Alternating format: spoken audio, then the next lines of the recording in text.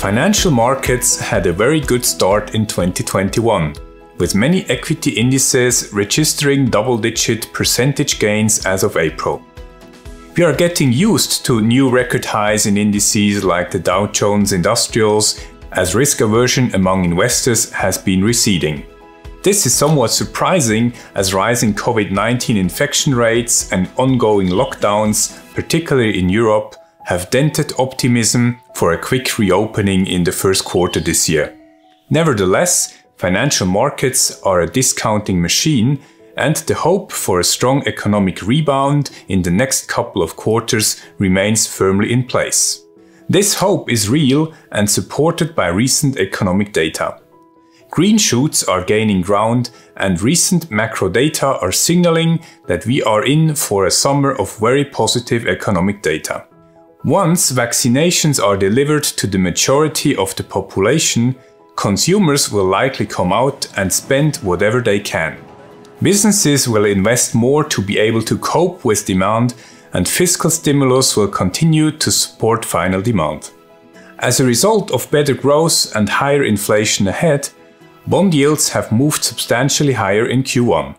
However, the US Federal Reserve remains committed to keeping monetary policy accommodative and currently sees the pickup in inflation as transitory. For now, the dynamic of interest rates increases at the long end of the yield curve is expected to moderate, but risks appear to be tilted to the upside on the back of robust fundamentals.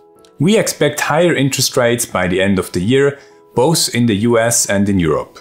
In our fixed income allocation, we therefore remain underweight in duration, especially in government and investment grade bonds. On the other hand, the risk return profile of high yield bonds remains attractive, and the same applies selectively to emerging market bonds. Despite a difficult start to the year, we consider the latter to be a good addition to the multi asset portfolio, both from a growth and a diversification perspective. The negative impact of sharply rising US interest rates and the strong US dollar should ease, releasing corresponding catch-up potential for local currency emerging market bonds. Implied volatility in equity markets, which remained at elevated levels in the months following the outbreak of the COVID-19 pandemic, has also fallen significantly recently. The environment for equities therefore remains solid. Lower risk aversion among investors is likely to lead to continued strong inflows into the asset class, boosting equity prices further. On the other hand, investor sentiment and investor positioning is now extended on most metrics, which makes the equity market more vulnerable to negative news. On balance, we expect markets to grind higher, but the risk of a setback is increasing and it might be worthwhile considering taking some profits in the coming weeks. While the upside at the equity index level has diminished since the start of the year, we think that the rotation from growth into value will continue.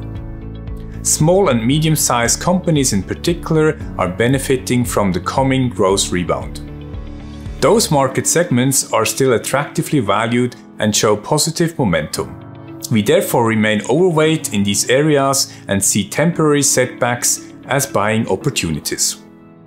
On a regional level, we remain overweight in developed market equities with a focus on cyclical regions outside the US.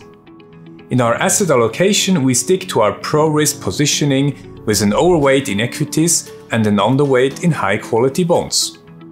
We admit that financial markets have already anticipated the economic rebound and stronger growth has largely been priced in.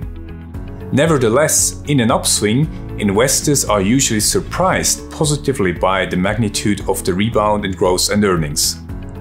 We are probably behind peak performance in terms of investment returns, but more moderate gains should still lead to a decent portfolio performance from now on until the end of the year. With that in mind, we should not give up hope and should be looking forward to a really nice summer.